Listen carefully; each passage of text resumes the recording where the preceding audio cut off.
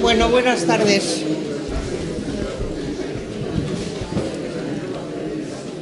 Vamos a cumplir con el rito de la presentación, aunque realmente supongo que no hacía mucha falta porque todo el mundo conocéis a la conferenciante, María Antonia Pérez. Yo estoy muy contenta de, de tener la oportunidad de presentarla porque es amiga mía desde hace mogollón de años, mejor no decirlo. Eh, como sabéis, fue codirectora de dos galerías de arte eh, punteras en Santiago, Torques y Citania. En aquellos años 70-80 vinieron por Santiago exposiciones de los pintores no solo gallegos muy representativos como Quesada, por ejemplo, o también Antonio Saura eh, y desde luego también Maside, que es el objeto de la conferencia de hoy. Eh, perdón, de Soane. perdón, estaba mirándote a ti. bueno, eh, trabajó como documentalista en, en, la, en el canal internacional de televisión española Hizo su tesis doctoral en la Universidad de Santiago con premio extraordinario eh, sobre precisamente la plástica de Luis Seoane y en la actualidad es eh, profesora titular de la Universidad de La Coruña en la Facultad de Humanidades y de Documentación. Como todo el mundo puede imaginar, como profesora universitaria, pues ha asistido y a numerosos congresos, ha hecho numerosas ponencias, ha asistido a seminarios, no vamos a enumerarlos aquí para no perder mucho tiempo, y asimismo ha realizado numerosas estancias en universidades extranjeras, sobre, sobre todo destacar eh, su estancia en el Centro de Investigación para América Latina de la Universidad Autónoma de México, que de tal manera que enlaza con sus líneas de investigación que están relacionadas con el exilio gallego en América Latina. Y de esas líneas de investigación podemos destacar fundamentalmente dos, la recuperación y análisis de textos escritos e icónicos de exiliados gallegos en la prensa y editoriales de América Latina, con Luis Ioane y Lorenzo Varela como figuras relevantes, y el análisis de la pintura de los exiliados gallegos, Luis Ioane y Maruja Mayo, también como artistas centrales. Además de esto, pues participó y dirigió proyectos de investigación. Eh, destacamos la recuperación y el análisis también de textos escritos e icónicos de exiliados gallegos y de Galicia en un quincenario llamado España Popular, editado en México por el PC entre 1941 y 1964 y que tuvo muchísima importancia porque de alguna manera establecía las líneas ideológicas del partido. Y otro sobre Galicia y las editoriales gallegas entre 1939 y 1975. Entre las numerosas publicaciones que tiene, eh, la última, que siempre es la más eh, novedosa, eh, es, son tres capítulos que tienen por título De mar a mar, correo literario y cabalgata, que se publican en, la prensa cultural de los exiliados en América Latina entre 1940 eh, en las principales revistas culturales de Argentina y que están publicados recientísimamente, están saliendo de prensa en un libro en tres tomos por la, eh, publicado por la Cátedra del Exilio de la Universidad Autónoma de Barcelona y la editorial Renacimiento de Sevilla. Yo creo que con esto quedas absolutamente bien presentada.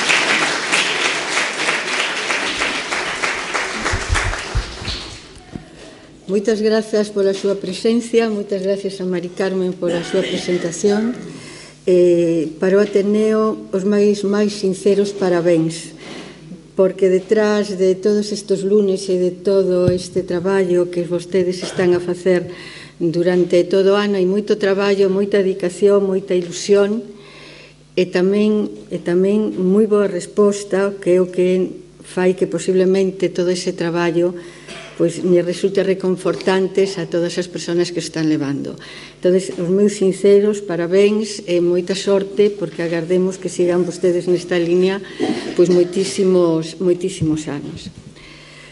Cando me formularon pronunciar esta conferencia, en principio pensei en facer un repaso sobre a pintura de Seoane, cas súas catro etapas, pero tamén pensei naquel momento que era algo mm, bastante conocido e que mm, sería moi normal que ao longo de todo este ano que me dedican ao Día da, da Arte pois que, mm, que se estuvera repetindo constantemente. Despois pensei en falar da primeira etapa da editorial O Castro, hasta 1979, que el morreu, que a levou el, que a impulsou, incluso estando en Latinoamérica, pero tamén pensei que tarde ou cedo pois é máis doado que alguén poida falar sobre isto que é sobre o que agora pois me planteei falar. Mm, e é que cando añadiron este, este día, cando añadicaron este día a Luis Soane fundamentalmente as cousas, o que máis resaltaron foi a súa labor como deseñador e ilustrador, noido editorial en Latinoamérica. Non solamente o que é a parte plástica, sino se ustedes collen e ven e len mm, a, a, digamos, o, os motivos as causas polas que lle están dando este premio, este é unha das causas principales, a súa labor como diseñador noido editorial. E a isto uneuse que mm, o día 1 de abril eh, non solamente o Día da, da Arte en Galiza, senón que coido que aquí se está facendo un homenaxe non só aos mortos, senón tamén a todos os exiliados, porque fai os 80 anos que vencido e derrotado o exército, rojo leuse desde Radio Burgos, era o parte de final da Guerra Civil. Hoxe fai 80 anos que a Guerra Civil rematou. E decidín falar sobre a editorial Nova, porque un editorial de culto, un editorial de excelencia, é unha das mellores editoriales que houbo de lingua castelán e que foi fundada por Luis Seoane. Entón vamos falar desta editora porque é unha editora mm, digamos, de culto e de excelencia que moi pouca xente tuvo a sorte de poder falar de, de oír falar dela porque a súa produción é unha produción moi orientada hacia a alta cultura e hacia sectores de, eh, de universidade e de investigación. E os que foron para a alta cultura mm, foron tamén tratados con un nivel tan alto, tan alto, que aínda hoxe os seus libros son libros de referencia. Luis Seoane mm, escapa de Galicia no ano 1936. Escapa desde a Coruña porque el foi un dos que participaron con fusil alemán na defensa do goberno civil da Coruña que estaba sendo bombardeado desde os barcos que estaban ali no muelle atracaos. Era moi amigo do entón gobernador civil da Coruña e da súa muller e mm, foi quizá un dos primeiros en enterarse do que estaba acontecendo ca sublevación falangista. Luis Soane, eh, despois deso, escóndese e pasa varios meses escondido nunha casa perto do cemiterio da Coruña hasta que por fin escapa. E Luis Seoane escapa, hai catro vías de, de, para os exiliados de, de, de fuga, por unha vía que foi perene ao largo de toda a Guerra Civil, que foi atravesando a Raya Seca. Escapa por Portugal. Escapa grazas a unha das mm, unha das redes de, de, de, de, de fuxida que había aquí en Galicia que estaba sentada na Coruña e que estaba mans da CNT, un sindicato e dun partido político co que tiña moi boas relacións que era o Partido Galeguista. O seu responsable era o presidente dos panadeiros da, da cidade da Coruña que non tivo sorte de Seoane de poder escapar, senón que foi fusilado. E outro dos máximos responsable era o seu cuñado, o irmão de Maruxa, que tamén foi fusilado despois dun xuicio que se conserva a súa causa, se ustedes a queren ver, pois desde o, os militares teñeran, pero tamén a propia fundación, que tamén foi fusilado e as causas do seu fusilamento son ser militante do Partido Galleguista, pertenecer a unha rede que organizaba a salida de fuxidos, e esconder na súa casa Rufilanchas, un diputado da, do Congreso de Madrid. Luis Seoane vaise por Portugal, al, eh, está axudado en Portugal pola masonería, de feito el vai a casa dun masón, bueno, teñen unhas claves para entenderse, Maruxa tamén é axudada pola masonería en Portugal, e chega a Bos Aires. Cando chega a Bos Aires, está esperando Frondin, Frontini, que era aquí en na Coruña o corresponsal do, gabin, do bufete de abogados en, de Frontini en América era Luis Seoane, porque en ese, bueno, bufete onde estaba Luis Seoane, porque nese bufete tamén estaba Suárez Picayo, que antes estuvera exiliado en Bos Aires. Frontini recibe o ali, pero Seoane non pode entrar en Bos Aires porque Seoane é argentino, nacera en Argentina e non tiña feito o servicio militar e detéñeno, méteno nunha cadea que hai ali no Porto e gracias ao sogro de Frontini, Frontini que era un alto militar, logra salir despois de 4 ou 5 días estar detido. Cando sale o seu problema é que de que vai a traballar. Ele é abogado, non conoce as leis argentinas e, lóxicamente, non pode traballar tampouco no bufete de Frontini, porque Ainda que conocese as leixes, en Argentina tería que facer a carreira porque non, pod, non tiño título o título quedara aquí, el saleu fuxido e tampouco tiño título. Entonces, os seus primeiros traballos, pois, consiguen os Frontini, foi no periódico Crítica, es, mm, siguen a línea da propaganda no exterior da República Española. Pero a continuación, Luis Soane, A continuación desto, xa se mete directamente no mundo editorial, como gran, gran parte, unha parte moi importante dos intelectuales exiliados da Guerra Civil Española. E métese no mundo editorial nun momento en que a Argentina estaba pasando por un momento moi álxido. A parte deso, temos que ter en conta que das seis grandes editoriales hispanoamericanas, tres fundaronas republicanos galegos, pois Losala e González Porto eran refugiados. En México foi a editorial González Porto, con delegacións en Nueva York en 14 estados suramericanos. E en Argentina, Editorial Osada e Editorial MC. Non se conta entre as grandes editoriais, entre as que están tamén, lóxicamente, o Fondo de Cultura Económica e a Editorial Suramericana, a Editorial Nova, por ser unha editorial pequena e con unha liña moi establecida hacia determinado tipo de publicacións.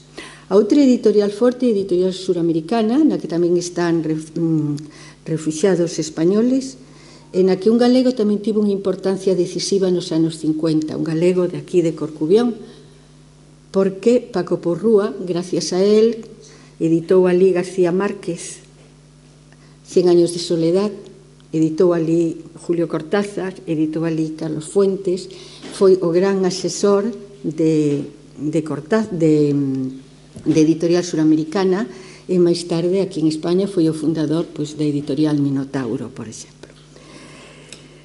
O apoxeo da industria editorial en Argentina non se comprendería sin que as guerras frasen o dominio de España e Francia sobre o seu mercado de publicacións Sin a reforma universitaria de 1921 e sin a propagación da alfabetización e do americanismo, un proceso bastante semellante ao ocorrido en México a raíz da Revolución de 1910. Losada nace en 1938 cando, González, cando Gonzalo Losada abandona a xerencia de Espasa Calve en Pos Aires. O capital que don Gonzalo o capital con que don Gonzalo concorre a empresa basicamente foi intangible pois consistía na súa experiencia e o seu coñecemento dos produtores e do mercado. Nos primeirísimos pasos de Losada, Seoane traballa nela como eventual, algo explicable pola necesidade de subsistir, o seu descoñecemento da legislación argentina e polo seu sempiterno empeño en implantar en Bos Aires un programa político-cultural que reactivase entre os nosos emigrantes o orgullo de ser galegos e prestixiar a nosa cultura. En Seoana Losada axudou a Atilio Rossi nas tarefas de imprenta e xa datan de 1938 as ilustraciones as ilustracións de gas un día de outubro de Kaiser e de 1939 o proceso de Kafka. Este libro, o proceso de Kafka, tuvo dúas edicións, a que está en blanco e negro é a primeira do 39 e a segunda do ano 48. Foron edicións relativamente baixas porque era a edición en Argentina de 4.000 exemplares. Losada dice que en las declaracións que ten feito que, que, que foi un libro que non se vendeu ben, que se vendeu moi mal, pero tuvo outra edición no 48, este é do 48. Pero, sin embargo, dice tamén que chegou a ser, se non é o primeiro, o segundo libro máis vendido de editorial. Foi un bestseller, seller porque cando Orson Welles fixo a película no ano 1962, volveu a reeditar este libro do que a editora tiña todos os dereitos e vendeuse en todo Latinoamérica no mercado español, que xa en aquel momento empezaba a despertar, e tuvo varias edicións desde o ano 1962 hasta o ano 1963. Por esa vida dos libros nunca se sabe cando vai rematar e cando van a volver a revivir. Pois estes dous libros de El proceso por exemplo, eh, eh, Gas, que son os primeiros que edita, está na Pajarita de Papel, unha colección emblemática dentro da editorial Osada. A finais de 1939, Luego Sone volveu a publicar bastante, volveu a ilustrar bastantes libros de Losada esporádicamente mm, hasta o ano 1966-67 que xa deixou de ilustrar e de publicar mm, en, nada máis, en, en las editoriales e nada máis o facía pos amigos. A finais de 1939, Mariano Medina, Álvaro de las Casas e Seoane fundan MC, Según o estudio de Roland Barthes en Col da importancia do nome das cousas, indicamos que MC obedece ás iniciales de Mariano Medina, home de confianza dos Brown, os donos mayoritarios, unha familia de grandísimos manates de orixen xudeo e asturiano. Sobre C especúlase que responde á inicial de Cuadrado, pero esta hipótesis carece de total viabilidade, xa que Cuadrado arribou a Bos Aires o 5 de novembro de 1939 no tristemente famoso Masilia e, baixou a Porto, e non baixou a Porto ata que pasada semana e media os cartos do propietario e director do xornal Crítica convenceron ao goberno para aceptar a parte dos exiliados que ese buque transportaba a Chile. Por tanto, Cuadrado desembarcou cando Mecexa colocaba os seus libros nas librarías porteñas. Álvaro de las Casas probablemente contactou cos Brown gracias ás súas conservadoras e aristocráticas amistades madrileñas e Mariano Medina por ser compañeiro de Carlos Brown Menéndez nun elitista colexio europeo, de Suiza en concreto, en San Gabriel. De las casas coñecía de Santiago a Cuadrado e a Seoane, quenes eran personas idóneas para os seus presuntos posibles obxectivos de pasar información ao franquismo sobre as actividades e conexións políticas dos refuxados en Bos Aires. Os fundadores de MC planificaron a con intención de, de encauzala cada destinatarios oriundos ou nacidos en Galicia. Porén, ela son moi poucos os libros en idioma galego.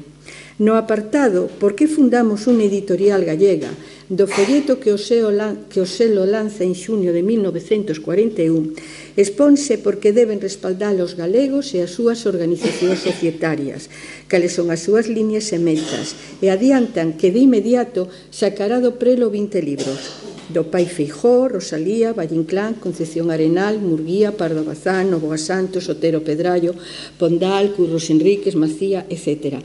Logo, todos eles Aparecen en Orreo e en Dorna e Curos Enrique na Biblioteca Gallega, colección que pecha en 1940 cando Álvaro de las Casas desaparece de MC.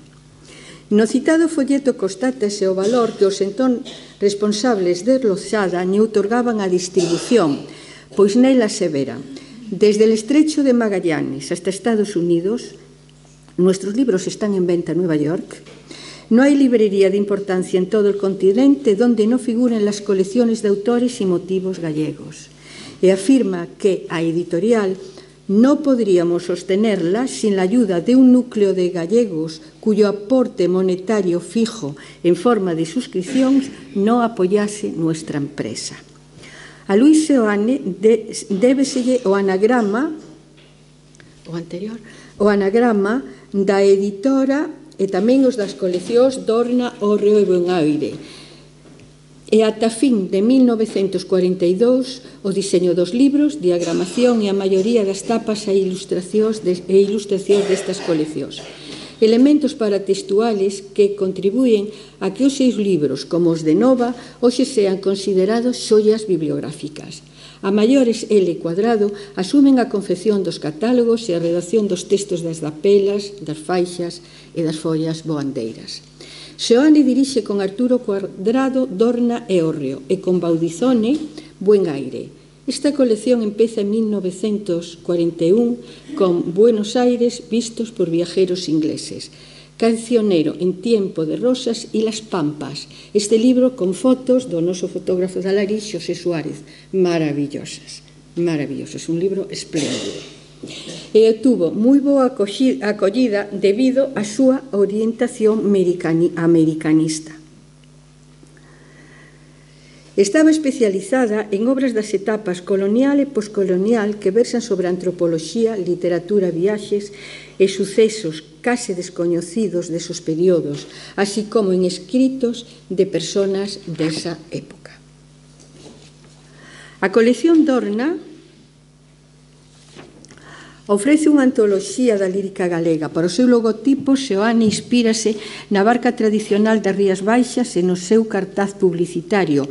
Moi afastado das estéticas das vanguardas, usa imaxes que repiten na iconografía dos seus cadros hasta 1948-50. Caracolas, mulleres, barcos, mar, playas, redes, etcétera. Dorna conta con nove libros, cinco en galego, e despegou con De 4 a 4 de Manuel Antonio en bilingüe e con prólogo e tradición de Rafael Dieste. Os restantes corresponden a autores que abarcan desde a Idade Media hasta o século XX. Nas tapas e ilustracións de Orreo poden sollar unha das primeiras silografías que Seoane grava no exilio. E na súa serie blanca Os nexos con Galicia, dos dous únicos autores, Gil Carrasco e Quevedo son tanxenciales.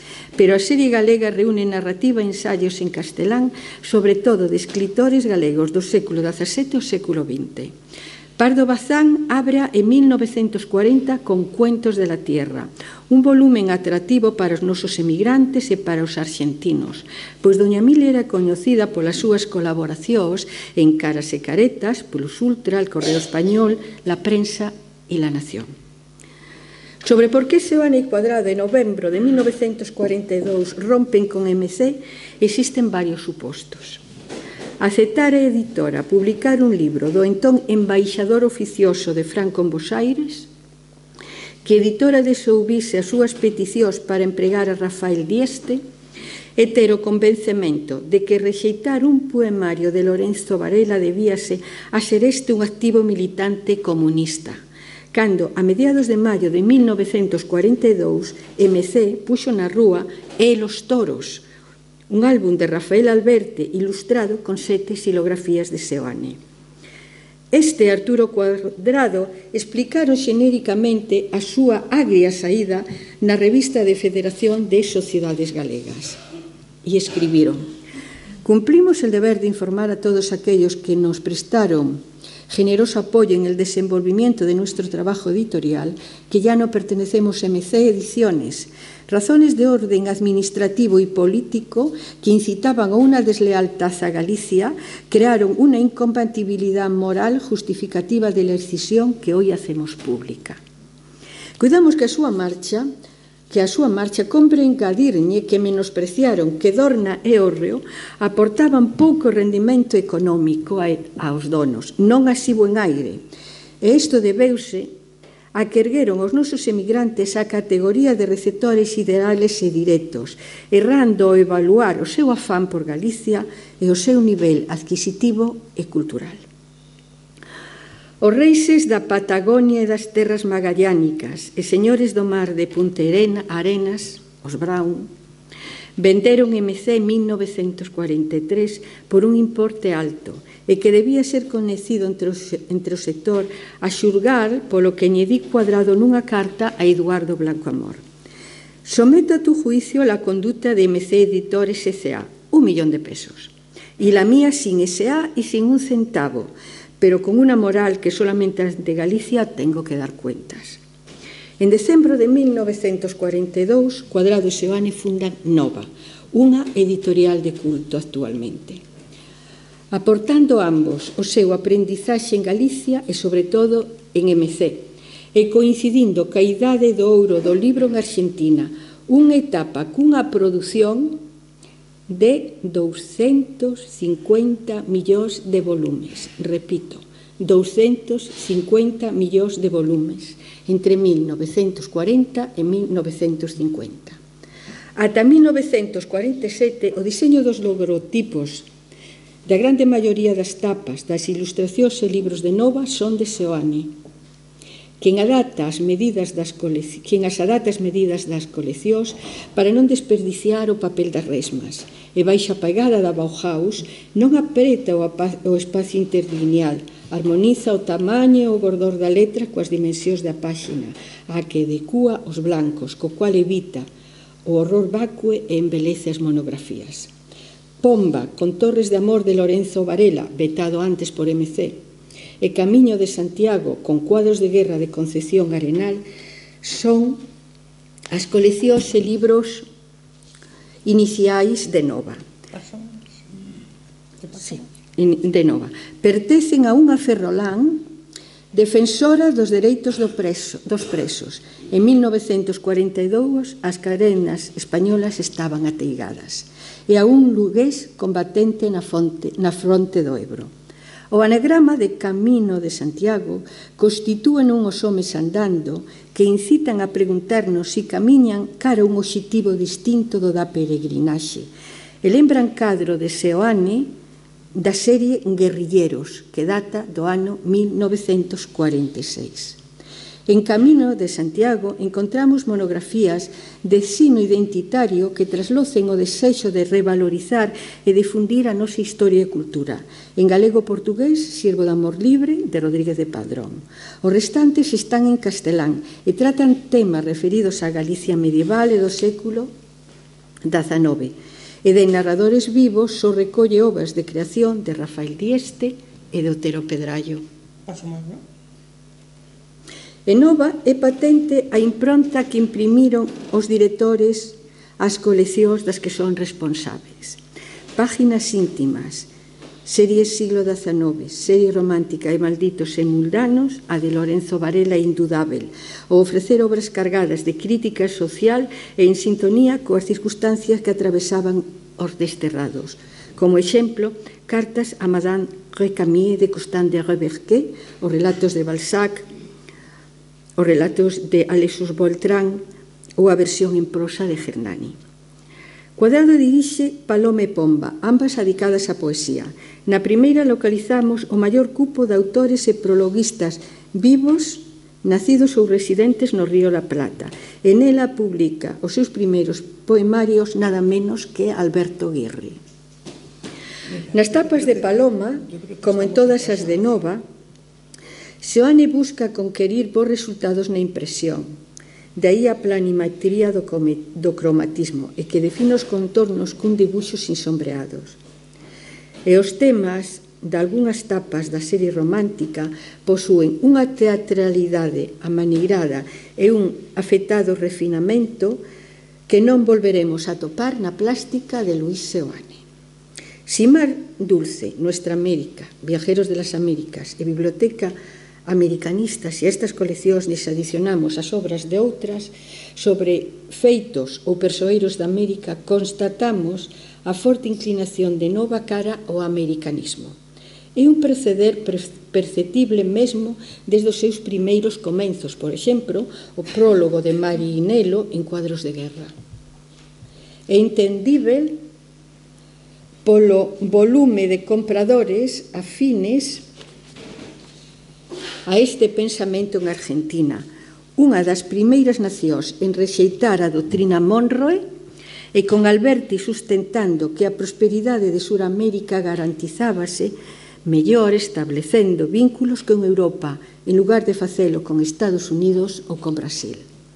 Mar Dulce e Mar Dulce prevalecen obras sobre feitos das etapas precolombina, colonial ou da independencia, relegados pola historiografía oficial – de literatura popular ou de recopilación de lentas con fuste para espertar a, fa a fachenda de pertenecer a unha comunidade de seu e de luchar polo propio. É unha orientación próxima a un dos principales ideolosemas entendidos no sentido de Angelot que caracteriza a produción de Seoane e que el defendeu como un dos modos para, para actuar na praxe política. En Maldurce localizamos tres pezas chaves dentro do imaginario identitario americano. Guaman Poma, de 1943, reproduce unha selección de dibuxos do manuscrito recuberto por Richard Pirman en 1908 na Universidade de Copenhague e que está a escolma realizada polo Instituto de Enoloxía de París para esta edición de Paul Rivet. Ahora Nova reedita respetando incluso a sintaxe e a grafía orixonal e amosa dibuxos nos que Guaman Poma reivindica a participación dos indios no goberno dos virreinatos. Rabilán Achi, publicado en Anales da Sociedade Geográfica de Guatemala en 1929, é un drama dos mayas de Ducatán que funde lenda, ritual relixioso e exorcismo. Trata do ofertamento entre o rabinal e os quiché e repiten como a súa e reflite como a súa cosmovisión xira en torno ao millo. A edición de Nova siga a versión de Brosser de Beaubourg, autor que, verteu, que a verteu francés en 1810 despois de escoitar o relato de Bartolo Cis. O Popol Vuh e a Biblia pre, precolombina glosa a mitoloxía zañas dos mayas e trasluce como no século XV as sequías os arrastraron a fame e as guerras. Chegou a nós porque o transcribeu do latín Frei Antonio del Portillo de Noreña e Frei Francisco Ximénez recollendo na crónica da provincia de Chiapas. Este manuscrito publicase en Viena en 1853, sendo esta versión a de George Rinau, a que ofrece máis Dulce, unha colección con cubertas que confirman o influxo da arte popular en Seoano, empezando polo influxo da baralla de Fourier, por exemplo, moi apreciable nas mallas romboidales que bordean o rectángulo no que nesta colección se colocan as imaxes. Pasa, pasa. Pasa. O nome de Nuestra América, que é o nome de outra colección, evócanos a José Martín e Aldo Fran, tan importante para os exiliados. Nesta colección conéctanos coas tradicións do, ante, do interior argentino en recuernos, en recuerdos de provincias, de Sarmiento, mentras que La letra escarlata lévanos a intransixencia de algunhas comunidades dos novos poboadores e a A en vermellón da súa tapa recórdanos as letras capitais dos códices medievais peninsulares. En Biblioteca Americanista Viaxeros das Américas prevalecen os estudios xenográficos. Noticias Americanas de Antonio Dulloa aporta información sobre os nexos entre o medio ambiente e as costumbres dos, dos indios no século XVIII. En Viaje a las Indias del Mar Océano, Nicolás Ferderman repara en como xa no século XVI as enfermedades dos europeos e a sobreexplotación mermaban os, mermaban os lativos de tal xeito que varias comunidades corrían o risco de extinguirse, advertencia que enlaza coas denuncias de Bartolomé de las Casas. Nicolán Federman era un axente dos Wessler. Os Wessler eran os banqueiros alemáns a quen Carlos V ñer cedeu a explotación de Venezuela. Entonces, mm, esta gente dos, dos Wessler, o Federman, isto decía non como en plan de axuda a estas comunidades, sino vámonos quedar sin mau de obra e non vamos obter tantas ganancias pero estaba expoñendo unha realidade. As monografías de Nova de corte americanista contribuíron á recuperación da historia silenciada da América Latina e a que se oane catase o potencial desas culturas. De feito, esas culturas, como a galega, actuaron de sistema fonte para o seu discurso plástico. Nada estrano se si reparamos que desde antes de escapar en 1936 xa era marxista e militante dun partido nacionalista, do Partido Galeguista. A intertextualidade entre textos americanistas de Nova e a produción de Seoane apréciase no mural do Teatro Xeral San Martín, baseado en Juan Moreira, editado en esta editora. No da Gran Galería do Centro, baseado en Woman Pomal Dayala, do que falamos. E nos outros catro, por exemplo, do Banco do Río da Plata. Tamén na xilografía de álbums como La Insepulta Paita, de Pablo Neruda, con ilustracións de Seoane basado na amante de Simón Bolívar, e Martina Céspedes, dedicado á heroína da defensa de Bos Aires, tamén con ilustracións de Seoane, e Martín Fierro ou nos 30 refráns criollos. Na colección El Labrador de Nova encontramos dous libros de corte americanista, pero os outros tres terían como receptores aos antifascistas refugiados en Argentina, O Iza Alemanes recopila as alocucións de Thomas, Mo, de Thomas Mann emitidas durante a Segunda Guerra Mundial pola BBC de Londres. Está traducido por Luis Tobio.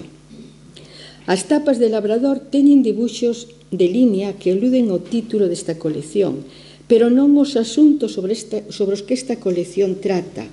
E estes dibuxos anticipan, anticipan un tema, a sega, que Seoane acometerá nos anos 50 en óleos gravados e no mural do Centro Lucense de Bos Aires. Grandes vías e homes representativas son as coleccións de biografías de Nova.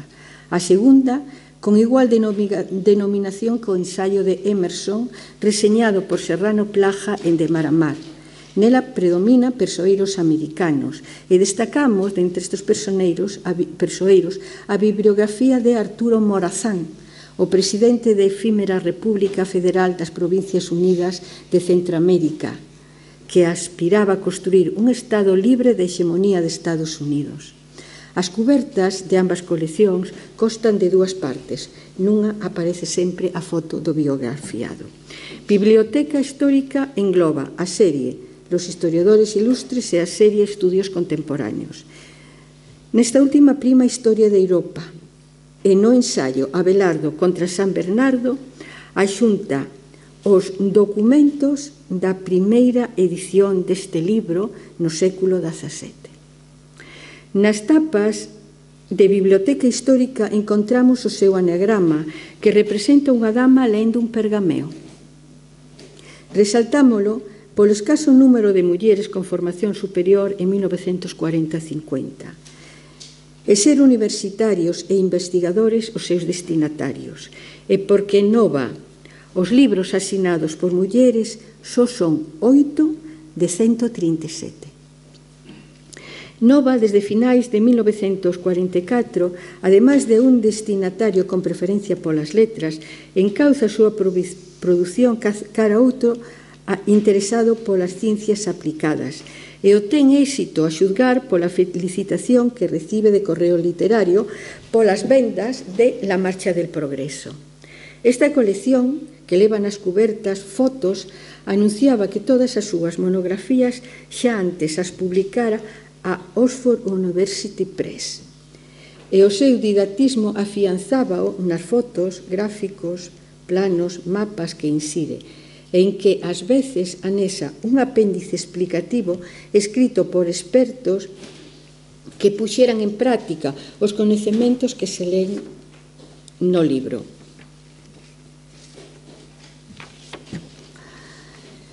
En Policía al Día, o anexo asina o xefe da Policía de Bos Aires.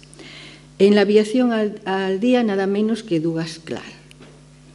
En esta deuda con Grecia e Roma, Nova advirte que mercou os dereitos exclusivos para traducir do inglés ao castelán esta colección e que as traducións realizarán as profesionales directamente do idioma original. Cando en Bos Aires a calidade das traducións estaba desacreditadísima, Nova loa a xerarquía das súas e con razón. En Nova concurren a tipoloxía de tradutores establecida por Wilson, o traductor profesional, o traductor escritor dentro do cal encadramos a Julio, a Julio Cortázar, pero con reparos, pois entre 1946 e 49 era o xerente da Cámara de Libro Argentino. E no, a, tamén atopamos o traductor periodista, que en algún caso pasa a ser traductor, periodista e escritor. O traductor amigo que desempeña un traballo alleo ás industrias culturales ou o amigo que é traductor de forma esporádica. Por outra banda, decir que son moitos os exiliados que traducen para Editorial Nova. Remítenos o texto de Raimundo Lulio publicado en De Mar a Mar, a revista que tamén dirixía Seoane e a novela de Pío Barojo título da colección da colección El árbol de la ciencia. Dela surliñamos Historia de la física e Historia de los principios de la bomba atómica, por salir do prelo cando estaba moi recente son bombardeos de Hiroshima e Nagasaki. E tamén destacamos la pelicilina por tratar sobre os efectos deste fármaco na curación dos feridos e da tuberculose. En el árbol de las ciencias, un fondoso árbol, aparece comprimido na parte baixa da tapa ou bordea esta tapa para construir unha orla. A colección nesta deuda con Grecia e Roma centras en obras chaves do mundo clásico e nas súas portadas achamos o seu logotipo que está formado por sendas columnas con capiteis corintio e romano. Na colección Espejo del Mundo encontramos novelas, Originariamente en castelán, só Sueños de Grandeza de Sánchez Barbudo, ambientada na Guerra Civil e con fragmentos publicados antes en Hora de España, onde traballaba Lorenzo Varela. Os restos dos seus libros constitúen unha demostración de canto acontece nos selos argentinos, xa que prima narracións traducidas de outros idiomas. Para Espejo del Mundo, Julio Cortázar verte o Castelán, el hombre que sabía demasiado e memorias de unha enana. Cortázar en 1944 xa publicara Niebla en correo literario que dirixía Luis Seoane e iba editar en Nova con ilustracións de Seoane o seu primeiro libro de contos. Non foi así por causas que nunca aclararon nin el nin Cuadrado, a quen Cortázar xa lle entregara os orixinais. La vida del espíritu ten de receptores parangonables os de biblioteca histórica. En ela atopamos a educación del hombre moderno de Sinlehut, e a historia da filosofía moderna nada menos que de Jason Royce. Nas tapas leva o seu anagrama, dúas personaxes que nos recordan a Aristóteles e Platón na Escola de Atenas de Rafael.